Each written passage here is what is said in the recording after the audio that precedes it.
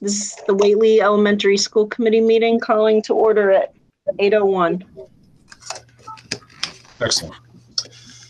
All right, um, the first order of business, well, for the first order of business is an announcement. Um, uh, Katie Edwards, our chair, and who has served on our committee for six or seven years, is that right about right, you two?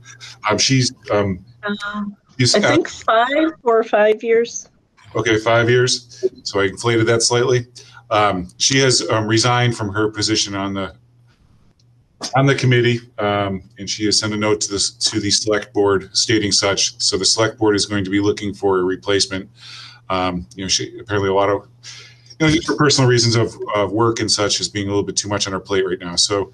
Um, you know, I just want to thank, you know, we'll probably have to properly Kate, thank Katie. We'll have to do our normal gift kind of thing and thank her for her service at a more appropriate time when we can have her here with us. Um, but I do want to just thank her for years of service and years as chair as well um, for all the you know all the students in the community and just kind of keeping the ship going in the right direction. I just want to thank her for that. So, um, so our first order of business.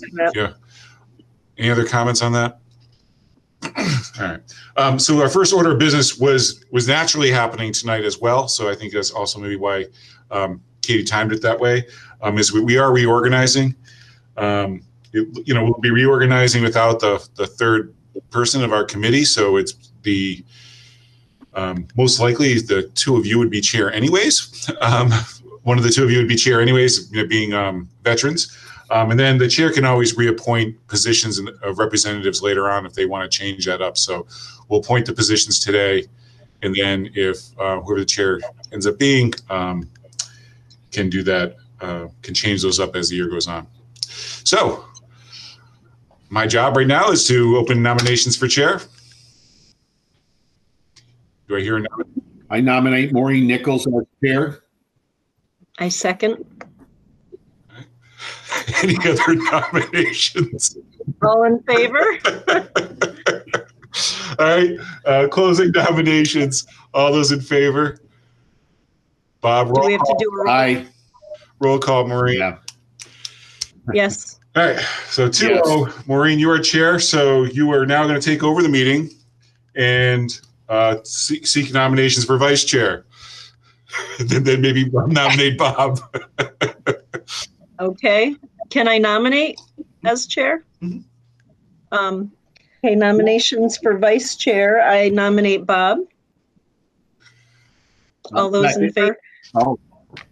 Okay. Do- Bob? is this a- Do we have to vote on it or just a nomination, You're going to vote it through. appointment? You're going to Okay. vote the three. You're going to vote the three officers through. Um, Okay, Um, roll Yes. call, Bob. Maureen, Yes. yes. And so, Secretary um, Maureen, you were uh, last year as well as Vice Chair. So, um, I Can can stay, but I, I can stay, um, secretary until we get a third person. sure. So, obviously, so go through the formal process there. Bob, nominator. I nominate Maureen to be secretary. I second. All those in favor? Oh, then you have to vote it. Sorry. Bob Haley, yes. Okay, Bob's yes, Maureen, yes. Excellent. And then your next item is the Frontier representative. Um, I nominate Bob if you're still willing to do Is that. that an appointment or is that a, vo- is that a vote or just an appointment on, on the rest of the stuff? You're right. This is all appointment by the chair. You're correct, Bob. Okay. Thank you. Um, Yes, uh, yes, I I'll be appoint frontier rep. Okay. Thank And the collaborative rep, collaborative representative, I, um, I will still appoint myself. Can I do that? Yes. Okay. And the capital planning committee representative. Uh, I, I, it doesn't matter to me. What do you think, Bob? If you, if uh, you uh, want, fine. If not, if you want me to do it, I'm, I'm, I'm happy with that too. I, I can, I can do always, it. we can- yeah, we can always change it once we have a new member and that person would maybe want to do it and stuff. We could change it at that time. Yeah, I, I'm just not sure what it entails, but I can, I can do it. Okay, And the Policy Review Committee, I appoint myself. And the Sick Bank Committee, I think, has to have two people, so I appoint me and Bob. And, oh, okay, the union reps, I thought that was the negotiation one, so that should be all of us. Um, that was the, at the beginning, right? Yeah. So yep, Bob, Bob and myself. And the negotiations team, I appoint Bob. good. Okay. And the next order of business is to review and approve the minutes. Do we have a motion? I'll make a motion for the uh, August 18th minutes. I second that. Roll call, Bob. Yes, Maureen, yes. And um, Shelley, we have the financial statement.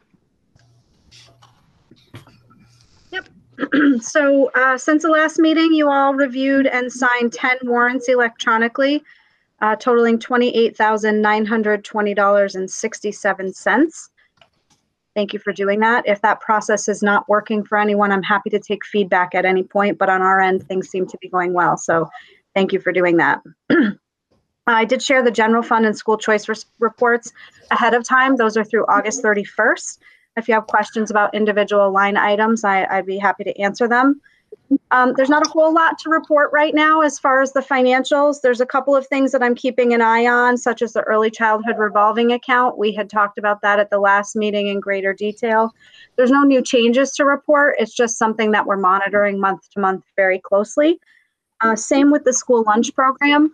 Um, the USDA approved free lunches for all students and free breakfast for all students, which is excellent for our community. Um, it just means that the revenue stream will be different than what we're used to in, in the past. And there will be some government reimbursement. We're hoping that it is enough to at least cover food costs and overhead. Uh, but this is another account that we're going to have to watch closely moving forward. So month to month, I'll be giving you an update. There's nothing concerning at this point. It's just something that I'm watching. Um, the other thing to put on your radar is that, you know, Chrissy has been working out the staffing needs given the hybrid model. Um, this model has posed some challenges for us to make sure that needs of students in the building and students who are at home are met. Um, we have to make sure that we have adequate class coverage for online learning and for the building.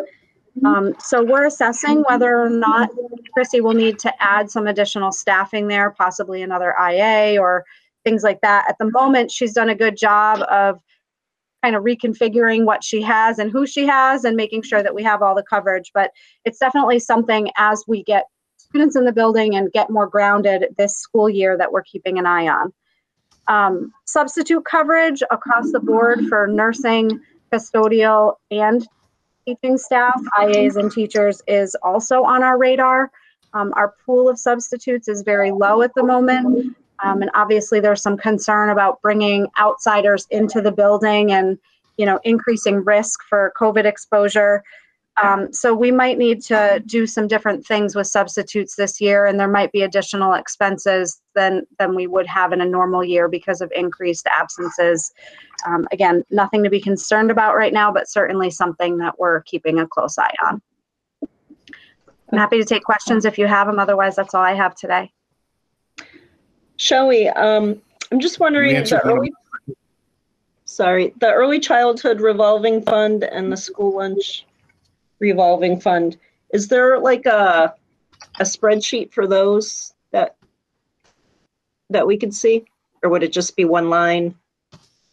Um, I, the school lunch program is not in our database. That is tracked uh, separately from the school lunch department. Um, right now, there's not really anything to look at because there really haven't been a whole lot of expenses. Um, I can pull up last month's report and take a look at what the current fund balance is because I didn't include that on here.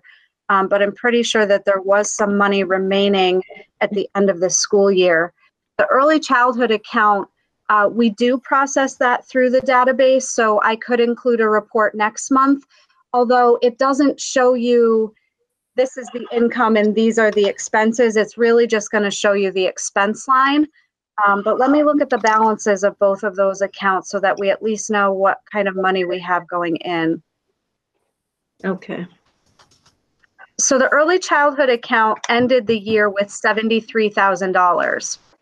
So that means that that money from the end of the school year is available to pay expenses for this year, which is primarily salaries and wages.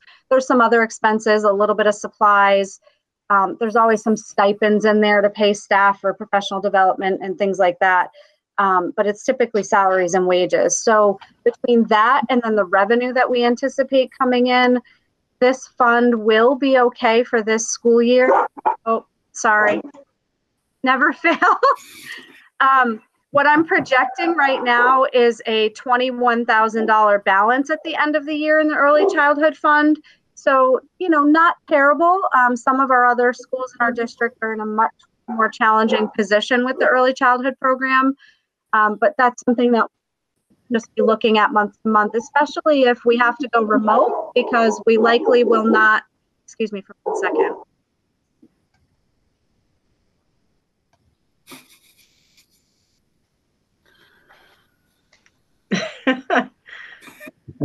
Sorry, I just want to close the door. Um, if we do go remote, we likely won't be able to charge our families, at least not the same rate as we're currently charging. Um, so, like last year, we had a revenue loss, but we still continued to pay our staff because we were having students still attend virtually.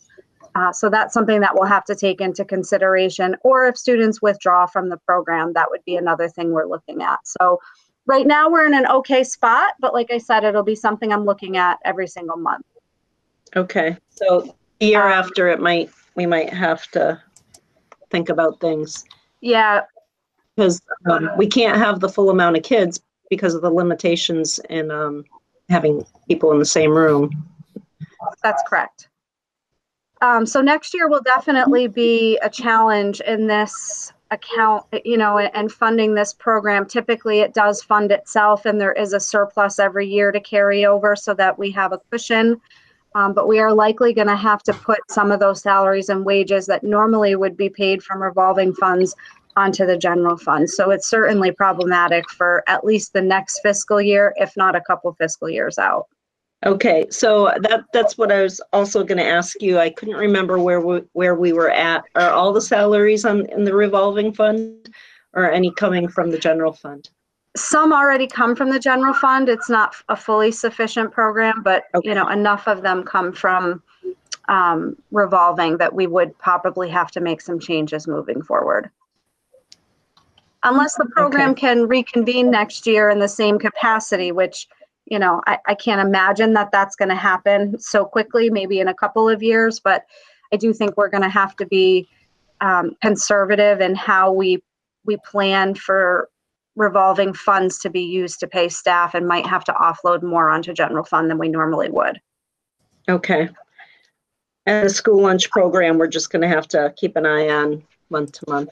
Yeah, so the school lunch program also has a healthy balance right now. We're looking at $48,000 to start off this school year. So, you know, we'll certainly be able to cover our expenses and our salaries and wages. Um, it's likely that next year it won't be such a challenge for the school lunch program, but we do have to monitor it month to month, make sure that the revenue that we do have in coming in at least somewhat supports this year's expenditures. Um, probably six to eight weeks. Once kids are in school, we'll have a better idea, which I know seems far away. It'll come quickly, but you know, we're looking at maybe November having some more realistic projections there.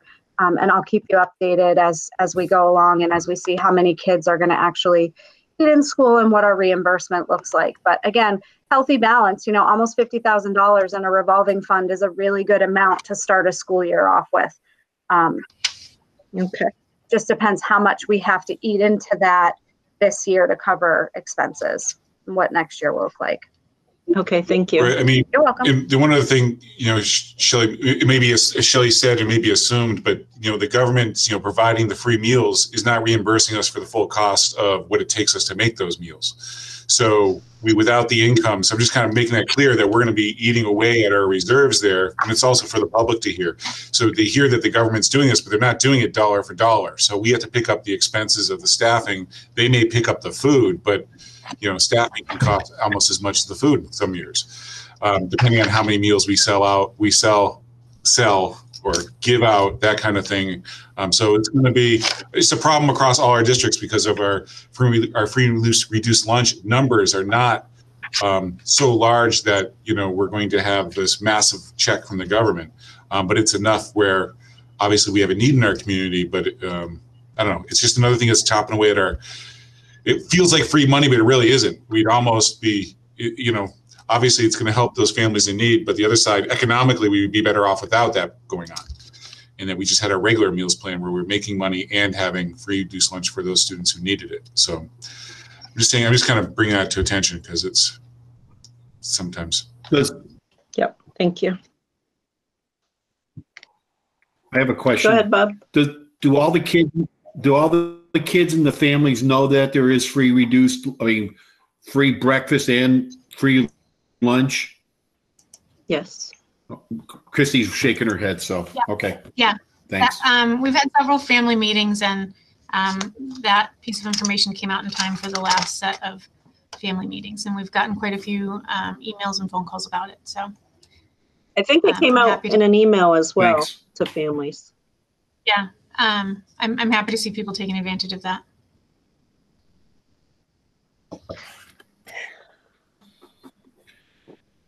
Okay, so moving on to unfinished business.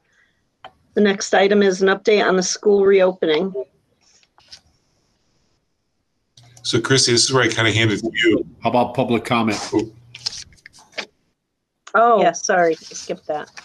Um, public comment, they're to be submitted in writing. And, uh, the vice chair will read them if we have any. There was no public comment. Okay, so we'll All be right. Talking Donna. now move, we'll be talking about the public comment when we get to policies about how we're going to address that okay, All right, so a reopening update. Um, some of the information that I'll probably share about reopening is also in my principal's report. So I don't know, want me to just go ahead and read the principal's report? sure, yeah I'll do the two together christy 'cause I don't want to go out of order. that's you don't want to be bumped in the meeting maureen will eject you That's true. You've got some power now that we don't have in a normal meeting. Um, all right, so I uh, am just I just shared the document with my um, principal report on it. But uh, in a nutshell, we've had 10 days of professional development. The staff was engaged in professional development from August 26th to September 9th. They covered the following topics: health and wellness, remote learning, anti-racism, curriculum and assessment. They have many opportunities for team collaboration, which is a critical part of every year, but never more important than it will be this year. The staff at West has entered this new school year with a problem-solving attitude. Our ability to support each other as a team will allow us to make to meet the challenges ahead. I'm really, really, truly grateful for their their diligence and commitment. Um, there are lots of different ways that people are approaching our current crisis, and I'm I'm so grateful that the folks here have chosen to um, approach it with a willingness to solve problems as they arise. Um, we have a new staff member, Molly Rice, comes to us um, to be our new kindergarten teacher, and she comes from a nature-based learning background, um, which is really going to come in handy this year because they're going to spend a lot of time outside. Uh, she's come to us at a most difficult time and has met the challenges of preparing for the coming school year as a new teacher with great initiative and enthusiasm. Really lucky to have her. I've already received um, messages from families who are very pleased with with what we've been doing so far in kindergarten. Our summer projects list was a little different this year, so we did the usual stripping and waxing floors, scrubbing walls, counters, furniture, and um, painting. Sort of the next things on our list. Um, we also spent time mapping out a way to bring people back into the building safely. Most classroom furniture has been removed from classrooms in order to create workspaces that maintain the six foot distance. Dan Talbot has gone through training to develop new protocols and procedures around sanitizing the building. He has also cleaned up areas of our campus that will be used for outdoor learning space. Um, so our totals for remote and hybrid um, will have 25 students who will be learning through the full remote model and 81 students who will be participating in the hybrid model. In addition to that, there are 13 pre-K students coming in for um, two-day programs. And then to break it down by cohort, um, cohort A will be in person on Mondays and Thursdays. On those days, we'll have 52 students in the building. On cohort B days, which are Tuesdays and Fridays, there will be 46 students in the building. Um, Does that include kindergarten? yes. Kindergarten and pre-K, those those totals of cohorts I gave were for pre-K to grade six. But um, they're not part of the cohorts, right? They're there every day, if I understand not. correct. The pre-K is not there every day. We had such a large number of um, pre-K students registered. I mean, even before all this happened, we had a waiting list. Um, and so at various points in the planning, we weren't going to have a program. We were going to have a program. It was, you know, difficult to, to find our way through that, but we felt it was really important to be able to offer something because we have a really great pre-K program here and, and would like to keep that going. So we broke the group in half and offered two-day programs to each of the families. Um, given that there were some families who could not accommodate a two-day program, and we completely understand that. Um, but we have there are a few students who are coming in four days for various reasons. Um, so we have the the highest day is Thursday with ten students, and there are three staff members in there. And they've already Um, but kindergarten will be there every day, right? kindergarten. Or are they? No. Kindergarten is part of cohort A. Oh, okay.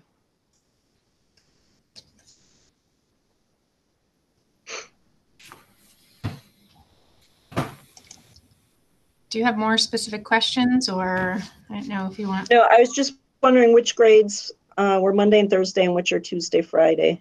Um, Monday and Thursday is half of pre-K, and then all of kindergarten, first, third, and fifth.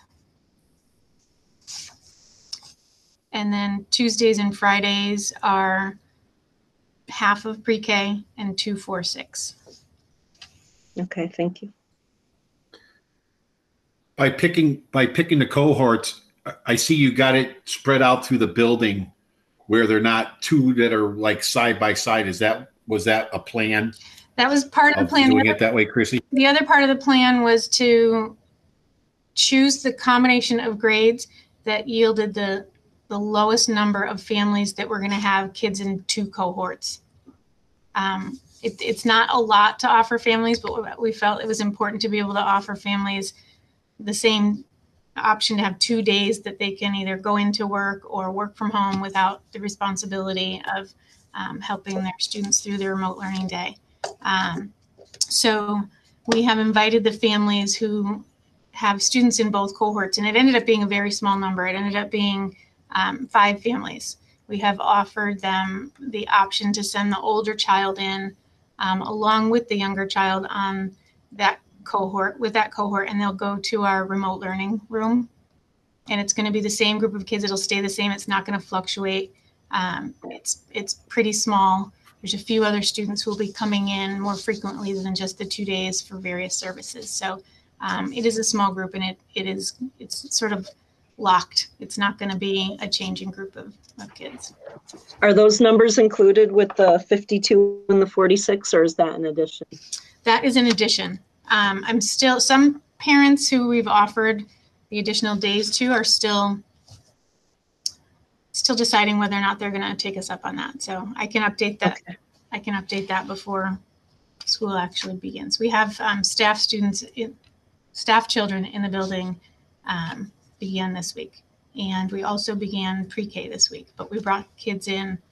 Um, so we broke the group in half, and then for these four days this week, we brought in half of a half each day. So we had four or five kids, um, which was really, we thought it was, you know, kind of funny to bring four kids in with three staff members, but we absolutely could not have done it with bigger numbers. It was really important to see how things work, all the systems that are in place with a really small group of, of students.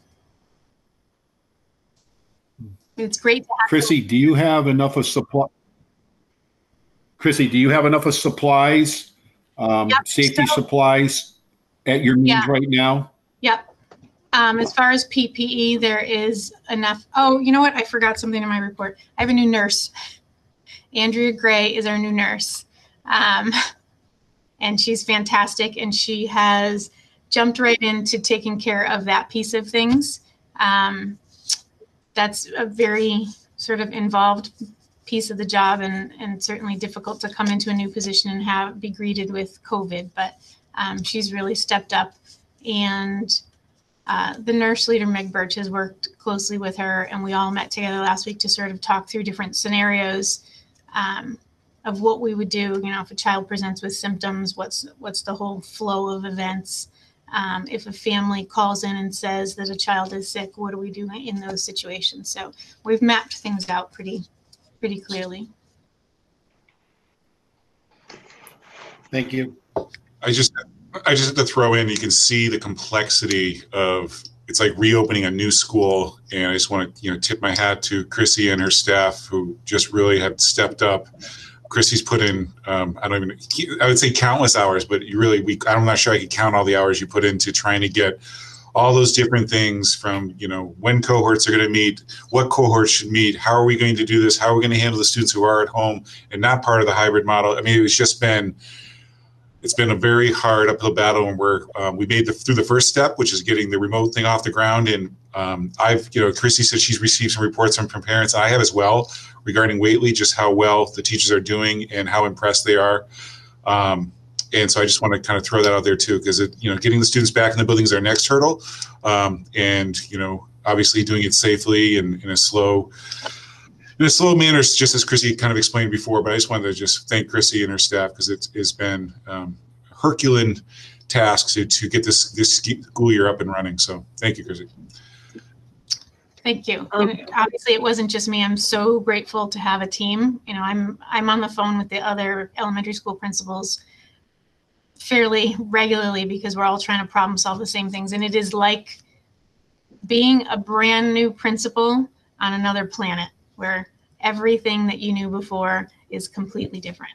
Um, and I've said this to the whole team here since they've been back that um, the only way this all works is if we pull together and work as a team because things are going to come up. We've tried to anticipate every possible thing that's going to happen, but there's just no way to do that. And so as things crop up, um, having the positive attitude and um, sort of patience as we work our way through this is going to be critical. And people have been so great about that. Like I said, there are lots of different ways that you could approach this, and I've heard from people in other in other school districts that the approach might be a little different coming from the staff. Um, so I, understand and appreciate how lucky we are to have staff who are digging in so heartily um, and ready to take this on. It's not easy. It's the teachers are doing is similar to what we've all been doing in terms of creating a whole new thing that didn't exist before. It's a lot of work. The teachers are doing a lot of heavy lifting and putting in a lot of long hours. Um, and I'm, I'm grateful to them for doing that. Um, Chrissy, I was wondering, what are the number of teachers that are going to be in person and remote or not at all? With I don't know if that would fall under the FMLA if they're not coming in at all, or if they're if if they're going to be remote. Are, Darius, are there restrictions on what I share? You can just give the general how many teachers you have working remotely, just now what their qualifications are. You know what I mean? I have one teacher working remotely and two instructional assistants working remotely.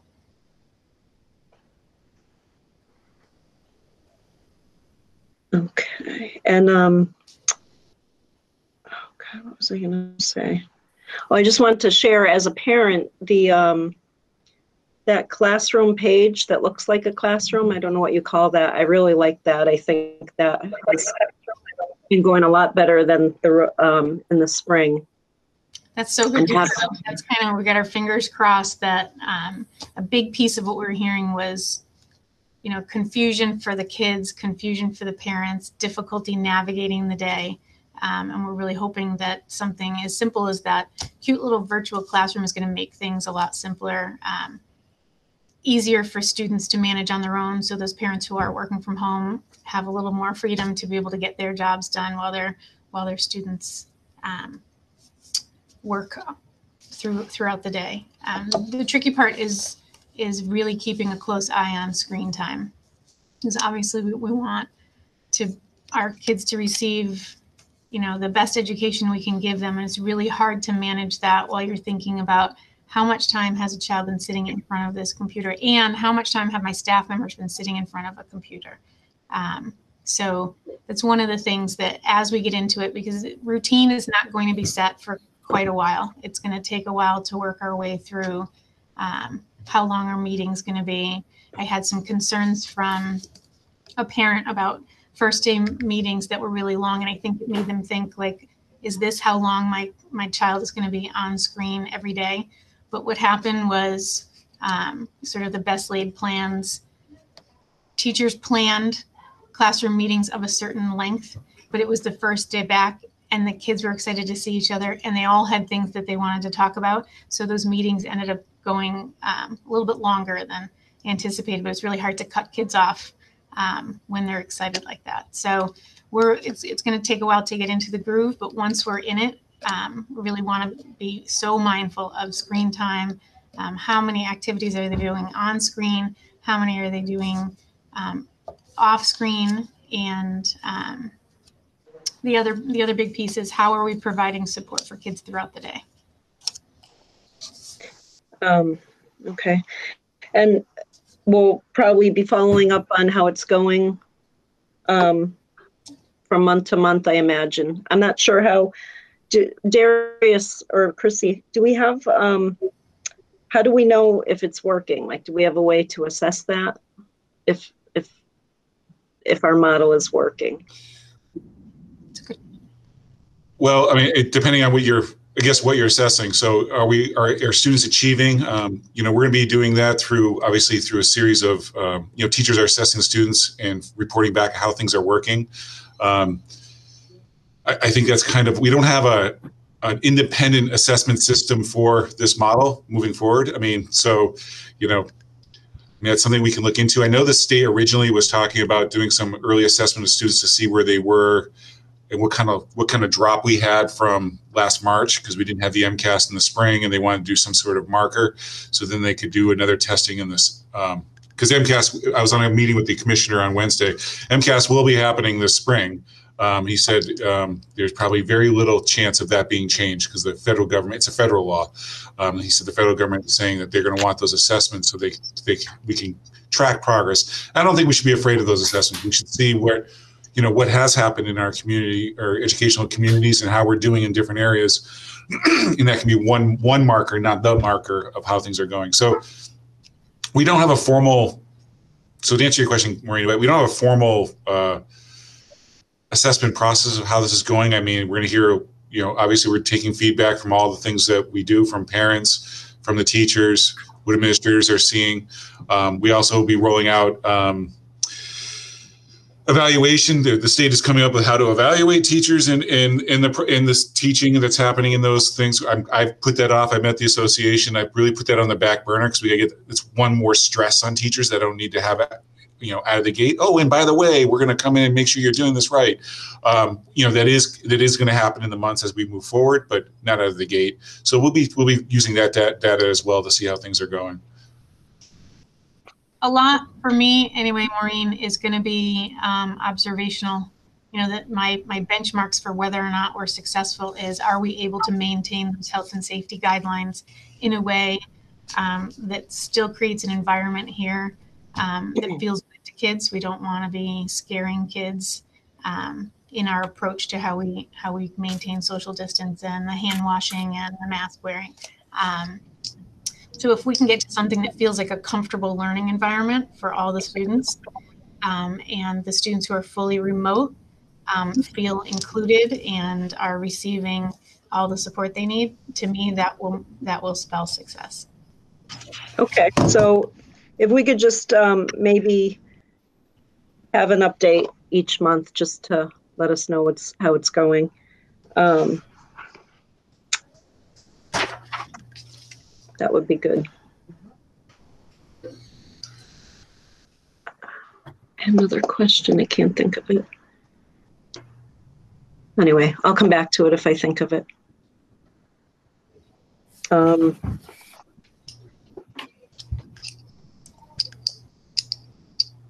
I'm anxious to see how it goes when we move to the in-person, the hybrid. We'll definitely be talking about it. That's for sure. Yeah. It's- Yeah, that's um, that's heavy on my mind. Again, I'm really glad that so starting the 24th, we'll, we'll be bringing those cohorts in. But as you, as a parent know, on the 24th, half of cohort A will be here. So again, we're gonna we're gonna ease our way into this, see how our systems are working with a smaller group of of students. Um, at first, I was a little skeptical about doing the half of a half because we were pretty small numbers to begin with. But just after seeing um, how pre-K went and um, even with small numbers, and it went really well, but there was a lot to really think about um, that gets really real when you know that that the kids are actually walking in any moment. Um, so I'm I'm glad that we're doing um, a quarter of the the school at a time before we dive in and do a full cohort. And are they, are you still doing the library, the cafeteria and the gym? No, um, the the way the numbers worked out in terms of um, students who are opting to work full remote, it left us with class sizes that were able to be in the classroom. Okay, So the highest number of students in a classroom is um, 13.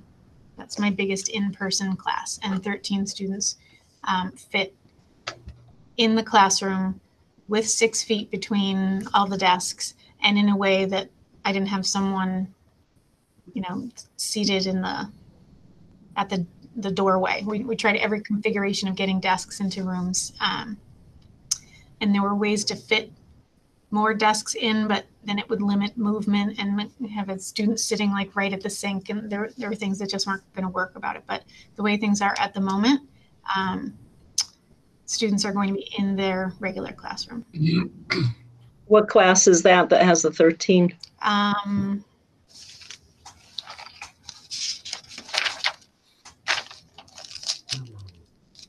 grade four. I was guessing that. Okay, all right, let's move on then. If, are you done with your report? Definitely. Okay. Um, to Anti-Racism and Equality Committee's mission statement and goals. Yep. Um, and so I sent off the, the Anti-Racism Equity Committee's uh, mission statement and goals to you all. And um, Kelsey Kropp, who's joined us here, is not Zoom bombing. She is joining us to. Uh, she is the chair or co-chair of our of our Anti-Racism Committee.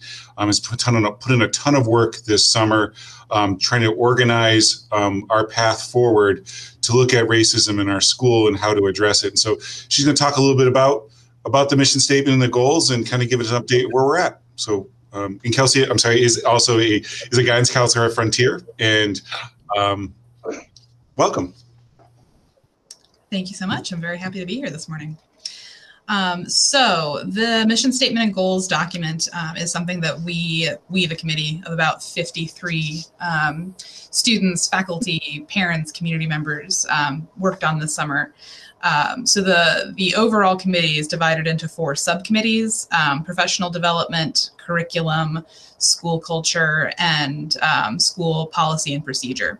So each of those four subcommittees came up with some goals for this year um, that they'll be working towards for the the entire district. So each of the schools. Um, so some updates on where we are. Um, Amanda Mosea is a 2013 graduate of Frontier Regional who then went on um, to study history and social justice at Harvard.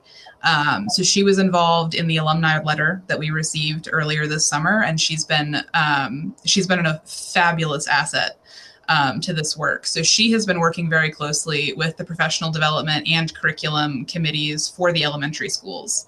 Um, so at this point, the elementary schools have had two of their professional development sessions.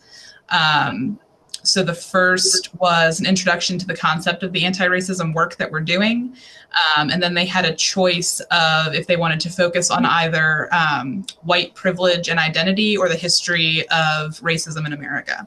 So moving forward, um, their professional development will be on one of those two pathways. And each of the pathways involves various readings, um, podcasts, videos, articles um, that folks will be um, looking at in their own time and then coming together to discuss with some guidance from, from Amanda.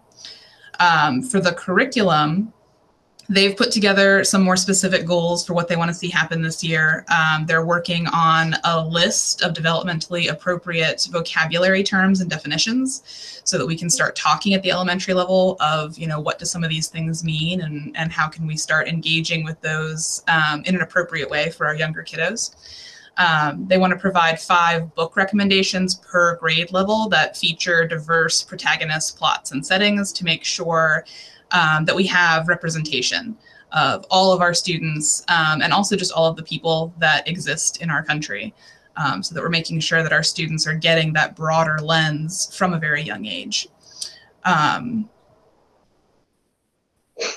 For their third goal, they're looking at using those two goals, so the vocabulary and having books in the classroom that provide that wider lens, um, to use those two goals as a foundation to sort of revamp the current curriculum um, to allow for more honest dialogue and learning around history. Um, so that might eventually include looking at how we teach things like th- like the Thanksgiving story, for example. Of how can we do that in a more historically accurate way that is still appropriate and positive for our younger kiddos. Um, for the school culture committee, we actually that's the sub the subcommittee that I serve on. So we have our, our one of our meetings this afternoon, um, and what we're looking at for the elementary schools, we're really wanting to get some of our high school students into the elementary schools. Obviously, this year that would be virtually, um, but we're we're wanting to have some um, some discussion circles between our high school students and some of our older elementary kids um, to talk about language and to talk about you know what are some of the things that you hear? What are some of the things that get said? And how can we start addressing that? Um, because when when they get to the high school we do see issues with the n word starting right off the bat in seventh grade. Um, so we know that the roots of that are even younger. Um, so we're looking at how can we start some positive some positive role modeling with our high school students, have some positive um, some positive discussions with the with with our younger students who can kind of look up to our high school students um, and understand why why these words aren't okay um, and feel like it's coming from it's coming from you know the cool big kids as opposed to adults because we know they listen better to those um, and the other thing that we're looking at for all of the schools is looking at school norms. So um, some schools already have them, some schools don't. Um, so if you do already have them, it would be revisiting them and then inviting students to be part of that process. Um, because certainly at the elementary level, students are able to say, these things make me feel good, these things make me feel bad, and this is the kind of school that I want to go to.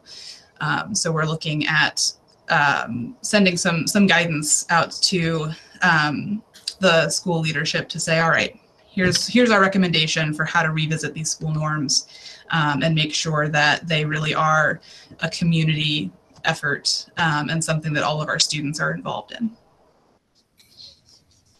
Um, so that's sort of where we are. I'm happy to answer any questions anybody has. Um, I'm wondering, so I see that the co-chair, the co-chairs are you and Jameson Eisler. Is a Frontier parent. Is there any Union 38 parents on the committee? Yes. Okay, and there's, so how many subcommittees are there? There are four subcommittees. And so there, I know you said, um, school culture was one, school policy, right? And then is it professional development? And what's the fourth one? Curriculum. Okay. Um, And there are representation, there's representation on all four of those committees from both Union 38 and FRS. Um, so the when we chose the co-chairs for each of those subcommittees, we had one person who is from FRS and one person who is from a Union 38. So we're trying to be very careful um, that the focus isn't mo- isn't solely on the high school and the middle school. That we are remembering and including our elementary schools. That's great. I know my kids had questions when they s- noticed that print, that Norman Rockwell print in Whately Elementary. Um, I I don't remember seeing anything about recruiting. How, how did you guys recruit these members? Like the parent members? So there's a there's a organization um, in Deerfield, the Deerfield Inclusion Group, that's been active I think since 2016. Um, so we kind of put a call out through that network. Um, they have a Facebook page, which, which I think has at this point about 250 people on it. Um, so we had put a call out through that um, to say, hey, we're forming this committee. Um, it's open to parents. It's open to community members. If you're interested, please contact us. And then there was a form that everyone was asked to fill out um, sort of explaining their background and their their reason for being for interest for their interest in joining um, and kind of self-assessing where they are on the spectrum of you know i'm a beginner at this all the way up to i'm an expert in this. Um, so that we had a good idea of who who was coming. And we do have a broad range of folks who are newer to this work and folks who have been doing this for a long time which i think is really important to have that that broad range of perspective Okay, yeah, I, I wasn't aware of that, um, that group. So I don't, I don't know if maybe next time we could send a, an email out to families to to see if there was any interest. Um, of course, I might be the only one that's not on Facebook. Um, Well, the hope is that this committee will be a long-term committee, um, and that you know some people people will sort of come in and out as as their commitments allow. Um, so we are open to to new members. We we haven't turned anybody away at this point. We're okay, that's great. a work to go around if folks are are wanting to join. Yeah, Yeah, I it think sounds, I was it sounds great, the whole, the whole initiative. you know, the, we- how we built it was so that it was not built in one school alone, especially amongst the elementary schools where it's on one person. And then when that person either burns out or, you know, you know, has to do something else, it, would, it would fade. And so the idea was to have a full community wide um, one to gain momentum. So as a school committee, you're going to see, you know, we're going to be giving more and more updates um, as the year goes on about how we're doing. Um, it's kind of, it's one of our accountability points, I would say, because it's our link to the public to find out, you know, to talk about what we're doing here. I also at the Frontier Committee, the committee asked if would, if I would look into if there was anything the committee could do about ed- being educated about um, racism and what can they do as leaders, educational leaders in the committee. So I'm looking into that. I'll be reporting back to options that we can do as a school committee. Um, the school committee also, you'll see policies coming your way that'll be reworded, not just for to hit the legal markers, but to hit the tone we want to change in our buildings. Um, a lot of our a lot of our policies say legally the correct thing, um, but does it say what you know what we what our beliefs are and what our values are within them? And so um, the policy committee, which I'm on, um, is looking at those as well. Um, so that's the work that you're going to see. So you're part of this movement as well, whether you you've um, signed up for it or not. You're going to be part of it, and, um, and, that, and that's great. So you'll, you'll maybe see Kelsey more in the future, or other members. Would we're going to try to mix it up, different faces, and I'm not saying not just you not coming just on Kelsey, but we're going to try to mix it up. We may even have students talking about stuff and that kind of thing, just to really kind of uh, show that it's really not just one or two people moving this thing forward, but it's a full it's a full group. So Okay, great. I'm excited to hear more about it. Thanks, Kelsey. You're very welcome. Thank you, Kelsey. And you're welcome to click off. And I know you, you're like the teachers are overwhelmed with all the things you got to do as well. But thank you so much for your presentation. Thank you very much for having me. Everybody have a good day. Thanks, Kelsey. Okay, update on HVAC repairs. So the good news is this was I, you know, as you know, as I create these um, uh, agendas for the, they're basically they're the same in all four committees for the most part. Um, I left it on here only because I it was, it was a big it's a big talk in the educational world right now, how safe our buildings and such. So I left it on there. Whately's in great shape. You did not have to have a follow up, you know, while all the other buildings and the other four buildings in the districts had to have some either minor repairs, in some cases, some major repairs, and some major bills with those repairs. Whately um, is, is is passed with flying colors. The original, um, uh, you call it? The original assessment of the school's HVAC system and such. So it's in really good shape. And so I just wanted to share that publicly. You got a good building, and your HVAC system's in good shape. Um, I think the only thing that they're updating in that building is they're going to be changing to the MERV 13 filters, um, and those have been ordered, um, as well as some um, UV lights for the larger air handlers, not the single classroom handlers, but the larger air handlers. So that's what's happening to increase safety there. But um, it's a good report to have, so we can have good news at meetings too, not just things that are broken. That's good. Okay, new Yeah. business. Um, so we're gonna be voting on the policies. so Vote to waive first and second read and move to vote on revised policy BEDH. Public comment, see policy BGB. so wondering if I could go through them. The Mm-hmm. The uh, so public comment. Obviously, we had an incident at, at public comment um, or by the public on our meeting um, that was you know um, inappropriate and kind of disabled our meeting. Not kind of did disable our meeting. Um, so we we did. I did what I call emergency procedure for this meeting, say asking for things to be submitted 24 hours in advance in writing. Um, Donna checked it right up to the you know right before the beginning of this meeting. Um, so even are taking later. We're even looking for later submissions. The other, you're the final meeting, you're my fifth meeting on this subject. So the other committees, what they've asked is that I look into expanding this even more. So right now, Google Google Meet, which we're meeting on now, um, is coming up with an update in October.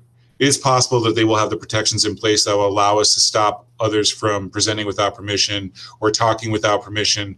Um, so this may be a short-term fix. Um, but the other committees asked me for the October meetings to, um, can I find a way to not, not uh, prohibit access from the community by creating something like a telephone line in um, where they can relieve a recorded message so they don't have to do it in writing if they have, you know, they don't have the, either the ability or the technology to do it in writing. Um, they also asked for me to look at any other options that could enhance that. So what they did is they voted the policy for that's written here um, and then asked me to go and try to put a procedure in for next meeting that's even more inviting for public comment if that makes sense. So you have the policy to protect you as a school committee that you know and then i can put another procedure in um, that will try to open it up a little bit even a little bit further. And then by then hopefully the google meet update will be there as well. We can see if that's going to be enough if we're going to have to have, do something long term this language was recommended by our attorney. This language is being used by other districts around us are only are having just submitting in writing. Um, some have submitting in writing and they also have a phone hotline where you can call and leave a message that will be played at the meeting.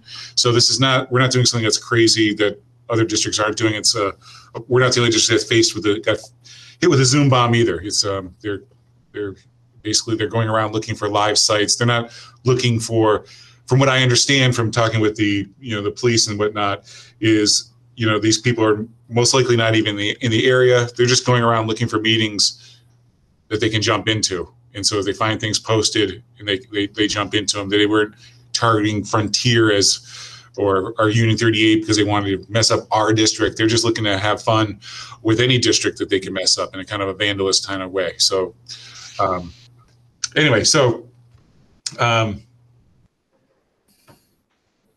the three um, so i don't know if you guys want to talk about what you think about the public comment policy. It's a policy as you remember we were already talking about. We were changing to update to the MS, MASC and there was some discussion at one of our joint meetings that they wanted the attorney to go back and look at certain areas. I brought back to the attorney and then we had the covid um, the business of covid and reopening schools. I put that on the back burner. So we will be talking about our public comment policy again in the future because um, it's not updated to the MASC's recommendations. And we were just kind of halfway through that um, you know, when, when COVID hit. And so we're just kind of adjusting our policy for this, um, you know, the event, you know, for the, the remote meetings, and then we'll be back talking about it again. Does that make sense? Okay. Yep.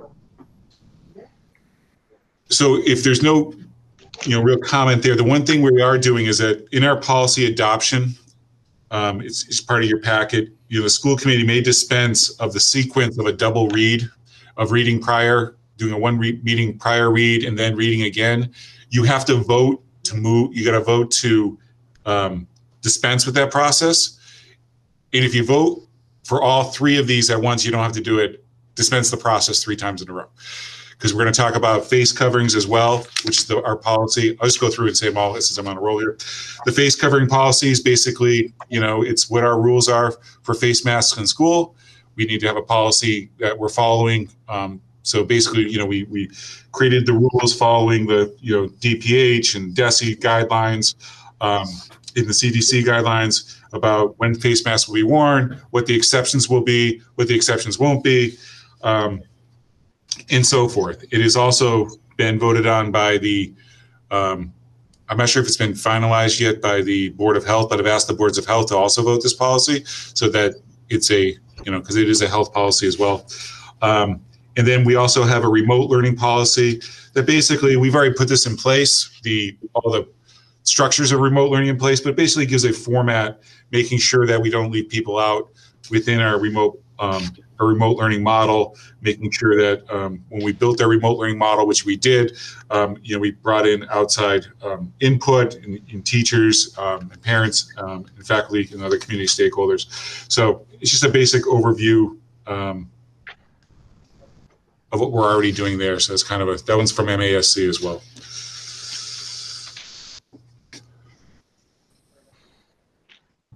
So I would recommend that you do a vote to um, dispense with the readings, um, the policy, and then you do a vote to, you could probably vote all three together as one, um, one vote if you want.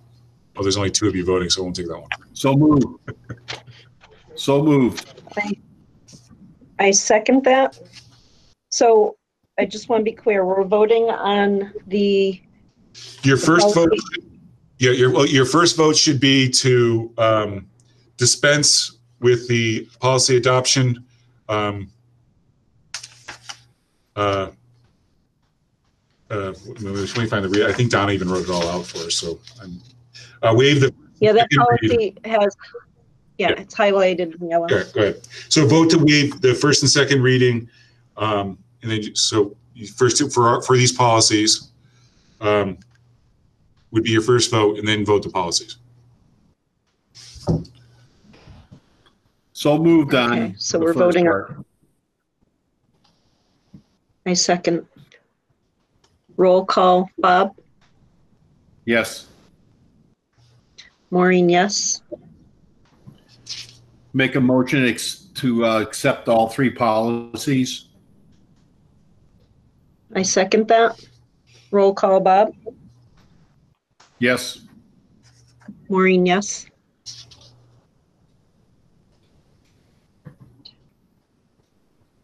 I got a question on the, on the next one, Darius, on the MOA. Yep. Do we have to do executive session before we? Nope. No? Okay. So basically, the next one is, uh, uh, the MOA, we were in executive session discussing that as a full thirty-eight, um, associate, uh, union rather, uh, committee rather.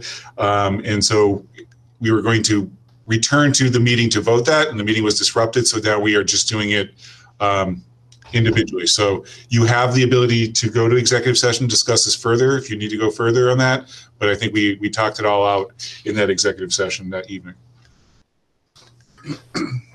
I, I, I make a motion to accept the, uh, the new MOAs. I second that. Roll call, Bob, Yes. Maureen, yes.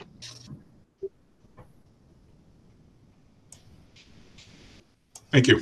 And I just want to thank the, uh, you know, the Teachers Association and um, for all their work in working with the school um, to come up with that MOA. It was a lot of meetings for, the, for those wondering. It didn't just come out of the blue. It was about there's about five or six meetings, about an hour, hour and a half each. Um, so you're talking about 12, 13 hours worth of meetings to kind of get um, where we were on that. So it was a lot of work, and um, I think we both came to a spot where we were comfortable. So thank you to them, to the association as well. Okay, so next is reports. Um, I don't have any chair report. I'm not sure. Does anyone know what, what that, what kind of reports I would have? It basically just it allows you to give any comment that you want to, if you have any any report you want to make. So normally there's not usually a chair report, but it gives you an opportunity if you want to talk about anything that um, you know is on your mind or creating of an agenda. You know, if you want to, you know, talk about um, the next agenda, you'd like to see this, this, or that. It gives you that- opportunity. It's one of those things that's always been on there. That's something we. Okay, So okay. Well, I, I just would like to have an update on how school's going. Um, at this point, every, every school. Absolutely, absolutely will. And so as chair, as you know, Maureen, what will happen is we, I create the, I'll create the, the outline of the agenda. Donna will send it to you to make sure if you want to, if it looks good or if you want to add anything. Um, if other committee members want to add something, they usually, their the process is, our process is sometimes they just tell me, but the process, they're supposed to tell the chair and then the chair can put it on the agenda. So if something else comes up between now and then or concern that you want to be, that you want to be brought and discussed publicly, um, that kind of stuff. So Okay. Um, I don't have a collaborative report. We haven't met yet this school year. So Principal, uh, Chrissy, did you have anything to add to your No, report? that, that was uh, pretty much it. Okay. Darius? and I don't have a superintendent's report. Okay. So that's our meeting. Madam Chairman, I make a motion it. to adjourn. I second that. Roll call, Bob? Yes. Maureen, yes? Okay,